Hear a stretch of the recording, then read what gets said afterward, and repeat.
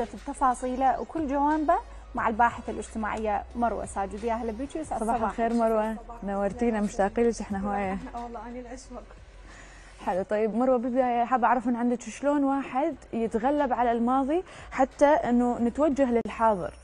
يعني هو واحد حتى يعوف الماضي ويتوجه للمستقبل أو إلى الحاضر لازم يتصالح ويا نفسه. مم. يعني من أهم الأشياء اللي لازم يسويها أول شيء يتصالح ويا نفسه ويتصالح ويا ماضيه. إنه أوكي هذا صار ماضي وهو لو بيه خير كان ما صار ماضي. مم. كان ممكن من الممكن يكون حاضر أو مستقبل. زين أنا بالتالي ليش أعيش ويا هذا الماضي؟ مو هذا الماضي راح يأثر علي سلبا بالوقت الحالي وبالمستقبل. أنا مثل راح أعيش بوهم. إنه أنا حاطته هذا الشيء ببالي بس هو مو موجود. بالتالي إنه إنه سواء كانت العلاقة علاقة صداقة أو علاقة حب المقابل هو قرر يعيش حياته وقرر يأخذ إنه آه، طريق ثاني بعيدا عني. أنا ليش اظل متعلقة بهذا الشخص وعايشة بوهم هذا الشيء يعني من الممكن إنه يأثر بالمستقبل سلبي بشكل سلبي على نفسيتي على من من كل النواحي. نعم صحيح. زين شنو هي العلامات اللي تدل على إنه هذا الشخص متعلق وبعده متأثر بالماضي؟ آه، من الممكن إنه هو يكون آه، ما يبين هذا الشيء. يعني طول الوقت وهو من الصبح لليل يكون طبيعي بس إنه من الممكن بالليل ترجع له هاي المشاعر. الاكتئاب هي من أهم الأسباب من الأكثر الأسباب اللي تبين أو إنه يحب يروح للأماكن القديمة اللي كان موجود بها هذا الشخص أو يقعد ويا ناس اللي عندها اتصال ويا هذا الشخص حتى بس يعرف إنه أخبار عن هذا الشيء. بس إنه بالتالي هذا الشيء خاطئ. يعني ما يصير هو يظل متعلق بشيء هو راح وصار يعني وهم إنه مو حاضر ولا مستقبل هو. وبالتالي إحنا لازم نتقبل فكرة إنه الماضي هو عبارة عن شيء نكتسب منه الخبرة وهو مو دوامة حتى إحنا نعيش بيها بالحاضر وبالمستقبل مم. طيب الماضي خلينا نقول إذا كان سلبي إحنا شلون نقدر نتغلب عليها يعني شنو الطرق أو الأشياء اللي ممكن تساعدنا حتى نتغلب على هذا الشيء اللي إحنا آه، بعده مأثر بينا. يعني أول شيء واحد لازم يسويه يقوي عنده الإرادة يعني يكون عنده إرادة قوية يحاول يشتغل على هذا الموضوع. وخاصة إحنا حاليا بالوقت الحالي عندنا الكتب عندنا البرامج عندنا المواقع نقدر من خلالها نتعلم هذا الشيء. وحتى أكو كتاب يعني أنا كلش أحب هذا الكتاب المرونة النفسية. يبين لك إنه شلون أنت تقدرين تتغلبين على هذا الشيء وإنه شلون الماضي يأثر عليك سلبا يبدي بالدماغ إنه الدماغ شلون يأثر على الجسد والجسد شلون يأثر على النفسية والنفسية تأثر عليك وتبين لك للناس. زين أنا من أريد أتغلب على هذا الماضي من أهم الأشياء اللي لازم أسويها لازم أقوي إرادتي. وطبعا أكيد إنه لازم أتقرب من رب العالمين إنه أدعي إنه الله ينسيني هذا الشخص صحيح. أو يشيله من قلبي أو سواء العلاقة صداقة أو حب. مرات علاقة الصداقة إنه تأذي أكثر من علاقات الحب. صحيح. إنه آه، صديقة ويا صديقة أو صديق ويا صديقة إنه يكون آه، محتفظ بالماضي مالته ويكون نعم. متعايش وياه. فبالتالي إنه من أهم الأشياء اللي أسويها إنه يكون عندي إرادة قوية وأكون متوقع كل شيء يعني بأي وقت من الممكن إنه هذا الشخص يروح فلازم أني أكون متقبله هذا الشيء حتى ما يأثر على نفسيتي. طبعا إحنا دائما ما أعرف ليش كبشر نربط الأحداث الإيجابية بالماضي إنه آني والله قبل حياتي أفضل وعلى الرغم ممكن تكون حياته حاليا هي الأفضل وطريقته بالتفكير هي أفضل بس دائما ننسب الأشياء الإيجابية إلى الماضي إنه هي كانت أفضل. إي لأنه هو عايش بوهم بهذا الوهم اللي يخليه متخيل إنه هو حياته كانت أفضل. لكن إذا يرجع للواقع ويرجع للحقيقة هو لو حياته كانت أفضل ما كان صارت ماضي كان صارت حاضر وكان صارت مستقبل.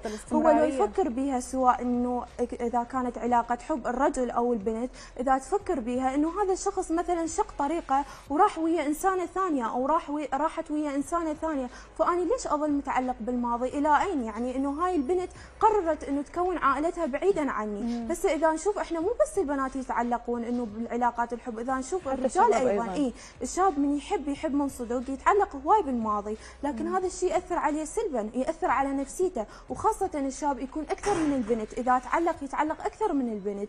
فهو صحيح. من يظل عايش بالماضي. هذا الشيء ما راح يفيده بشيء. هاي البنت عافته وراحت كونت عائلتها بعيدا عنه. زين أنا ليش أظل أحبها؟ وبعدين يعني إنه لحد وين أريد أوصل؟ ليش ما أنظر للناس اللي موجودة حاليا بحياتي؟ يمكن هاي الناس الموجودة راح تسعدني أكثر من الناس اللي كانت بحياتي. صحيح. لازم أباوع أشوف إنه هاي الناس تحبني. لازم أكتسب هذا الشيء وأكون وياهم. ليش أخسر الماضي والحاضر؟ ليش ما أكون ويا الناس اللي موجودة وياي بالحاضر وأكتسب هذا الشيء وأكون وياهم؟ يمكن أنا راح أكون بحالة أحسن من هذا صحيح الشيء. كلام صحيح بس مرات لما شخص مثل ما قلتي خاصة إذا كان شاب وحكى ويا بنية خلينا نقول لفترة.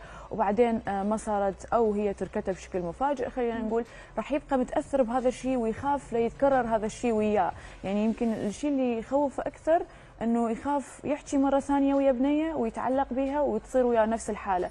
شنو الأشياء اللي هنا ممكن تساعده أنت يمنا ذكرتي إنه لازم هو يقدر يتجاوز. هل ممكن ال- الأشخاص اللي حواليه والمحيطين به يساعدوه حتى إنه هو يتخلص من هاي الحالة؟ مرات تكون هم الأشخاص اللي حواليه هم دا يأثرون عليه. فبالتالي هو إذا ينظر لها بشكل إيجابي ويشوف إنه فعلا هذول الأشخاص دا يأثر عليه ليش ما يعوف هذا المحيط ويتجه لمحيط ثاني؟ مثلا أنا بدل ما أقعد ويا أصدقائي آه إنه يخلوني أتذكر هاي البنت أو يخلوني من خلال القعدة لا اراديا إنه أتجه لشيء ثاني ألهي نفسي بشيء ثاني. صحيح. لحد ما إنه أني لا اراديا إنه أعوف هذا الموضوع أحاول قدر الإمكان لأن خلص أنت عايش بوهم أنت لازم تتقبل الواقع. هذا الشخص عافك ما يصير أنت تظل إنه متعلق بشيء هو ما موجود.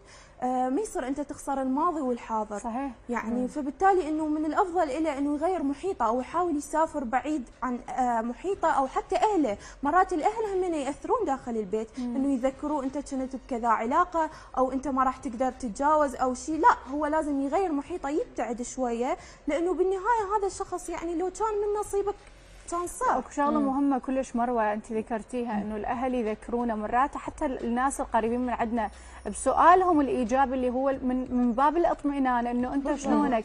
قدرت تتجاوز هاي الخطوة؟ أنت شلونك؟ قدرت تنسى فلان أو فلانة؟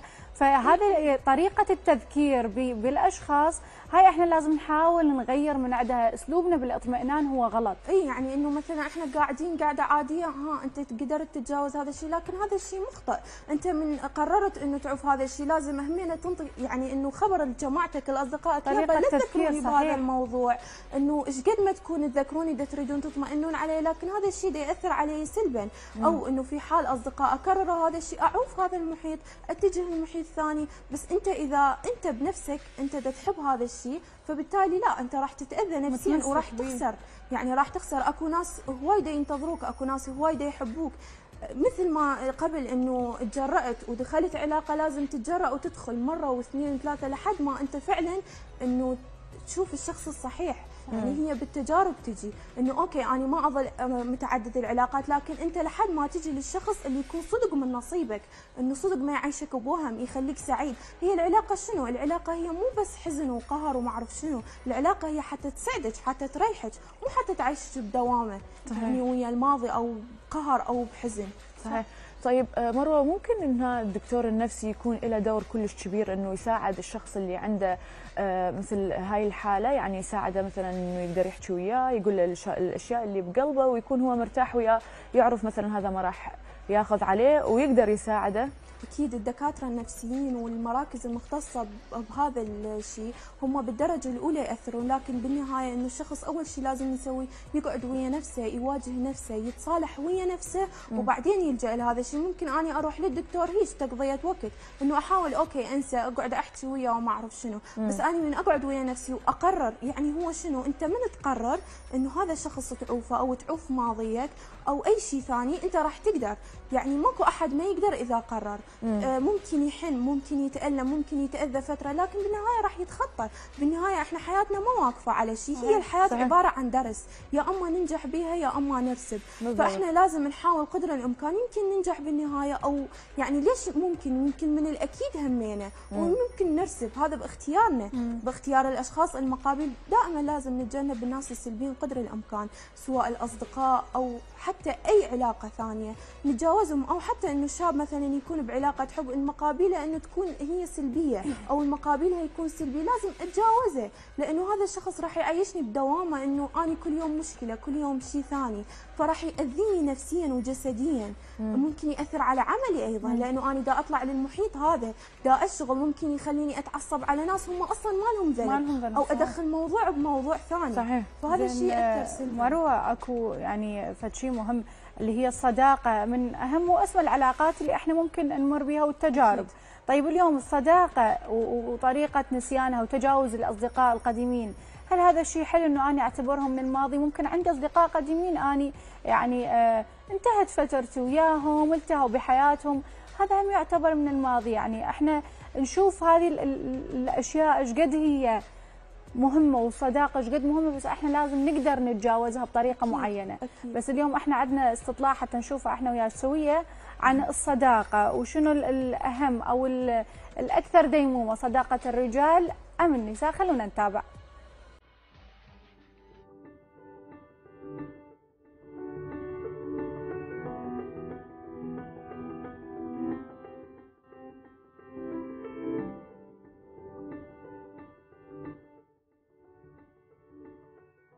ايهما برأيك يدوم أكثر صداقة النساء أم صداقة الرجال؟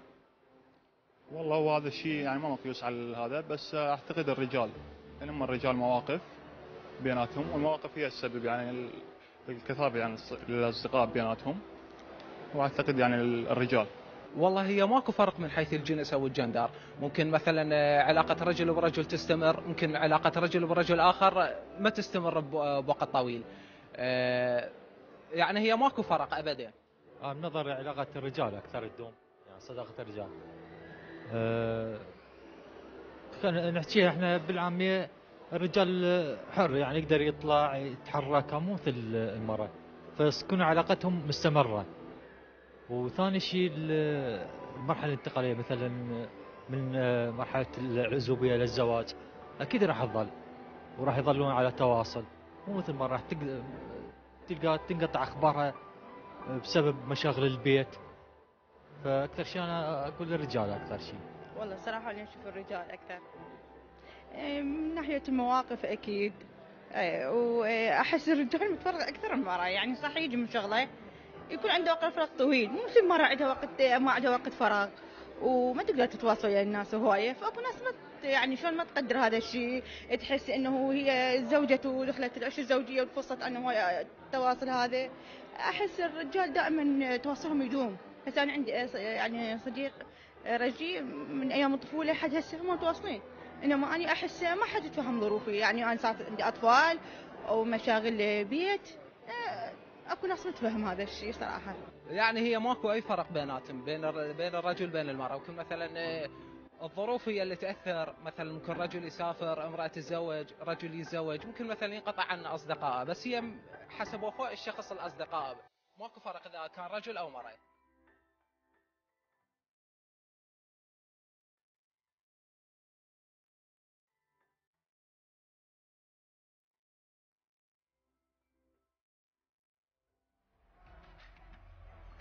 طبعا مروة اني هم أنا حابه أسألك نفس السؤال إنه أنت برأيك منو آه، اللي تدوم صداقته أكثر الرجال أم النساء؟ يعني أنا من وجهة نظري صداقة الرجال تدوم أكثر okay من الممكن أن تكون أيضا أكو حزازيات بين الرجل ورجل أي. لكن مو مثل البنت تكون. أقل. إي تكون أقل يعني ال- البنات بيناتهم دائما يكونون على خلاف لو قد ما يكونون متصافين إنه أكو يصير من الممكن حزازية بيناتهم فأني أشوف من وجهة نظري الرجال ويا الرجال أفضل علاقاتهم إي صحيح وخصوصا المرأة هي حساسة أكثر يعني ما حساسة. تتجاوز إي، ما المواقف تتجاوز المواقف نشوف إحنا حتى على ال social media يعني آه، الشيء اللي يثبت لنا إنه صداقة يعني الشباب أو الرجال مع بعضهم هي أقوى وتدوم أكثر. يعني تشوفين الرجال حتى بالشقة مالتهم والضحك والونسه هم يلحون على بعض والشقه مالتهم يزعل إي. وما يزعلون إحنا حكايه واحدة ممكن من إيه صديقة تزعل. تأثر فممكن إنه تحكي وياها بشقة تأثر عليها. أي. فلا إحنا نشوف إنه الرجال ويا الرجال صداقتهم تديم أكثر وتكون أحلى. يعني هم يكونون متقبلين كل شيء ويا بعض. بس البنت من الممكن أكو بنات بأقرب مشكلة تقوم تقول لها مثلا انت كذا وكذا وكذا. هذا الشيء خاطئ والله أتذكرها بالشغلات أكثر. القديمة والقالت لها إياهم كلها واسرارها تطلعها للعالم بالضبط بالضبط. طيب. هسه نشوف إنه هم هواية بنات. قاموا انه ما يريدون يكون عندهم صديقه بنيه ولكن يكون شاب يفضلون الشاب أكثر، أنت برأيك هل هذه الصداقه هي صداقة تدوم لفترة الصراحة طويلة؟ إي أكو هواي علاقات بين علاقات صداقة بين الرجل والمرأة تنجح أكثر من علاقة البنت ويا البنت، ليش؟ لأنه بالتالي هذا الرجال ما راح يغار من هاي البنت هي صديقته، إنه ممكن يسولفون أو علاقتهم تكون يعني إلى أبعد حد إنه تكون حلوة. آه وممكن إنه يعرف أهلها وتعرف أهله فعلاقتهم تكون يعني جدا جدا آه جميلة. فبالتالي إنه هذا الشيء راح يأثر بشكل إيجابي إنه هي راح تلجأ له لأنه راح تشوف آه هو ما راح يغار من عندها ولا في, في يوم من الأيام إنه راح يتحسس من عندها. ممكن هي تتشاقى وياه براحتها أو تحكي وياه براحتها لكن البنت ويا البنت لا. يعني هذا الشيء إحنا متوقعين كلنا إنه تصير حزازية خاصة هو هذا الشيء هم يعتمد على البيئة اللي هي متربية بيها. صحيح. إنه الإنسان هو بيئته دا يعكسها برا. فهي شوف شلون متربية بالبيت؟ إذا هي عندها حزازية ويا أخواتها بالبيت أو حتى ويا والدتها أكو هواي بنات إنه عندهم مشاكل ويا أمهاتهم. فبالتالي هي راح تعكس هذا الشيء خارج البيت. راح يكون عندها حزازية ويا صديقاتها. يعني هي بالبيت عندها حزازية ما راح يكون خارج البيت صحيح كلامك بس اليوم إحنا كثرة الصداقات وكثرة الأصدقاء والدائرة اللي تحيطنا. هل هي هذه الدائرة والأصدقاء الكلش هواية بحياتنا؟ هم يعني دليل على إنه إحنا راح نمر بمرحلة عزلة على إنه إحنا هذه الأصدقاء ما راح يبقون أو إنه أنا لازم أحدد مستويات الصداقة بيني وبين الأشخاص إنه هذا بالدرجة الأولى هذا بالدرجة الأخيرة هذا قريب هذا سطحي. شلون أني أقدر آه، يعني مثل ما يقولون أصفي أصدقائي؟ إي من الممكن إنه أنت مثلا يكون عندك آه، جماعة كبيرة أنت تقعدين وياهم لكن أنت ما تندمجين وياهم. صحيح. وطبعا أنا عن نفسي إنه أني عندي جماعة كبيرة لكن أني ما أندمج وياهم. أني أندمج ويا بنت وحدة مثلا موجودة داخل هاي الجماعة أو بنتين أو ثلاثة بس أني يعني بشكل عام ما أقدر أندمج وياهم كلهم. من الممكن عندي هاي البنت بالدرجة الأولى أو هاي البنت بالدرجة الثانية لكن إنه ما أندمج وياهم كلهم لا. فبالتالي إنه انت لازم تقللين من هاي الجماعة. انت المحيط اللي إذا ما مرتاحة بيه طلع من عنده. آه، لا تبقين بيه لأنه هذا يأثر عليك. إنه ممكن هذا الشخص يذب لك حكي أو هذا الشخص يأذيك أو هذا الشخص تتحسسين منه. فمن ممكن إنه من الأحسن همين تبتعدين عنهم. تخلي لك من ممكن صديقة واحدة آه، تغنيك عن هاي الجماعة كلها. نعم. طيب مروة انت قلتي إنه صداقة الرجل والمرأة تكون أفضل وهي تكون مرتاحة وياه أكثر. انت شخصيا عندك صديق شاب؟ والله لا. صراحة يعني إنه أنا ما عندي لا صديقة مقربة ولا صديق مقرب، آه. أنا دائما أفضل إنه أكون صديقة نفسي، يعني أكون متصالحة ويا نفسي، آه، من الممكن أطلع ويا ناس وأقعد وهاي لكن اني بالنهاية إنه هاي الجماعة اللي قاعدة وياها وهاي ناس هم هذول الناس كل شيء ما يعرفون عني، مجرد أني قاعدة وياهم وصديقتهم ما يعرفون عني أني بشنو دا أفكر أو شنو دا أسوي، يعني دائما أحب قدر الإمكان إنه أكون بعيدة ومن أكون قريبة ما أحكي عن خصوصيتي، صحيح. لأنه أنا بالتالي إحنا ما نعرف إحنا اليوم أصدقاء يمكن باكر آه، يتحول هذا الشيء. صحيح. فمن الممكن أنا إيه. يعني إنه أكون قريبة من عندهم بالقعدات لكن أنا بالتفكير بعيدة عنهم كل البعد. شوفي أنا هاي النقطة أتفق وياك بيها، يعني اني آه، مو مع الصداقة بين الرجل والمرأة 100% لأنه ذكرت ب يعني برنامجنا إنه الصداقة بين الرجل والمرأة 90% من عندها يتحول إلى آه، يتحول يعني إلى حب حب. وارتباط ممكن من من تجاه الرجل مو من مم. المرأة، المرأة دائما تشوف الصديق صديق. بس الرجل يشوف أي امرأة بحياته هي حبيبة مو إي صديقة. أكيد. فهذه أحد النقاط اللي إحنا ممكن نقدر نأخذها بعين الاعتبار إي إي. اللي هي آه، الصداقة موجودة الوفاء موجود من قبل الرجل لكن هو وفي مو لأنه صديق. صح. وإحنا يعني كمجتمع مجتمع مختلف عن باقي المجتمعات إنه يشوفون أكو بعض العوائل إنه يشوفون هذا الشيء ما يصير أو إنه صداقة بين الرجل والمرأة. فإنه إي إحنا ما نأكد 100% لكن إحنا ننظر لها اذا نظرنا فنشوف إنه صداقة المرأة مع الرجل أفضل من البنت مع البنت إي. طيب بما إنه لا البنت ويا البنت برايك انه okay ولا قلنا إنه الشباب همينا بما إنه إحنا مجتمعنا ما يسمح فهل تشوفين إنه هي لازم تكون صديقة نفسها مثل ما انت قلتي أو إنه ممكن تحكي لأمها هاي ال- الأسرار اللي عندها هو أقرب يعني صديق. صديق للبنت هي الأم مم. حتى الولد الشاب إنه أقرب صديق له هي الأم يعني. الام دائما لها مكانة خاصة ولها فتشي يعني إنه يأثر على المقابل فإنه إحنا إذا ننظر ولو هي الأم هم تقول الخالة بس لا يعني إنه الأم هي أقرب شيء يعني وأفضل صديقة، إيش قد ما تحاولين تقولين هاي مثلا على بنت هاي صديقتي هاي صديقتي لكن تبقى أمك يعني هي ساندتك، من توقعين بمشكله أول شخص تلجئين أمك الها. وانت تلجئين لأمك مروه؟ أكيد أكيد اني أول شخص ألجأ له يعني أمي قبل كم يوم صارت مشكلة أول شخص لجأت له خالتك. عرفت بها بعدين لا لا؟ والله بعدني ما أعرف ما سألتها بس أكيد عرفت يعني سهلة عليها هي الأم يعني هي صح تسمعنا بس دائما لو توصل الخالاتنا طبعاً. لو توصل إيه خواتنا. بس إنه بالتالي هي الأم أفضل شيء أفضل مكان. يعني الأم أو الأخت إذا كانت علاقتك قوية بها يعني أنا عندي أخت كبيرة صراحة أنا معتبرتها هي صديقتي. إنه أحكي لها كل شيء وياها وياها وإذا ما عندي أخت الجا لأمي. أفضل شيء هم أفضل أصدقاء هم الأصدقاء عائلتك. طبعا انت محظوظة بما إنه انت قلتي عندك أم وعندك أخت يسمعوا لك. بعض البنات حتى آه، أمهم وأخواتهم بالبيت يغارون من عندهم. صح. ويعني تسمع لها بس بعدين أي أي شيء صار وياها مثلا تعايرها بال- بالشيء اللي سوته مثلا خلينا نقول. ها انت سويتي هيك انت انت كذا كذا. تطلع لها الأشياء اللي هي آه، كانت مخليتهم مخليتهم سر. وإذا تحكيهم وهي مقهورة أو ضايجة من هاي المشكلة. يعني بهاي الحالة الواحد شو يسوي؟ صح إحنا مرات يعني إنه الخوات بيناتهم إنه إذا صارت مشكلة أي. تصير إنه ها انت كذا انت كذا أو الأم إذا صارت عصبية فإنه إحنا لازم نشوف هذا بعد هو قد ما تكون الأم والأخت مو زينات أو مثلا يعايرون أو إنه يكونون آه آه يعني إنه مو زينين وياي لكن بالتالي هم هم يبقون الأفضل. يعني أقدر اني بأسلوبي وبطبيعتي وبقناعاتي أقدر أقنعهم ويصيرون صديقاتي. فبالتالي إنه أوكي إحنا ممكن إنه مثلا البنت تكون امها متوفيه أو ما عندها أخت لازم تتصالح ويا نفسها. لأن أفضل صديق للشخص هو نفسه. إنه من أتصالح ويا نفسي أو أقعد ويا نفسي راح أقدر أتقبلها. من أروح ألجأ لشخص ثاني وأقول له يابا اني هيك وهيك وهيك. بالتالي هذا الشخص بيوم من الأيام راح يجي يقول لك أنت قلت لي هيك. وش قد ما تكون علاقتك قوية. بي طبعا اني مريت بهذا الشيء. يعني شيء من الواقع. إنه صديقتي إيش قد مقربة علي؟ إنه جتي تقول لي أنت كذا وكذا وكذا. لكن هذا الشيء خاطئ.